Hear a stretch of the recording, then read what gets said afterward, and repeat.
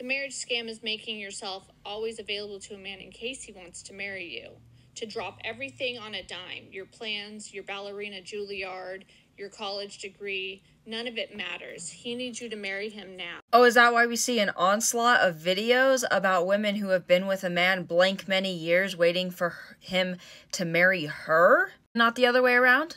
What man asks you to drop everything to marry him right now? And what, you willingly agree to that if he was that demanding about it? Most men are very logical. You can have that conversation with them if you're not ready now, if you want to do certain things with your degree, if you want to have certain jobs. And these conversations need to come up early because it determines whether or not you're compatible with that man. Some women sit here and act like men force them to do all these things, force them into things that they're not comfortable with. But then we also see men talking about how women do not listen to them, or they do the exact opposite of what they recommend.